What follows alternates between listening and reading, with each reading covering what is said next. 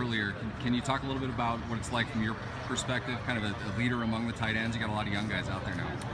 Yeah, we do, but we got a we got a really good group, uh, a smart group, uh, a hardworking group.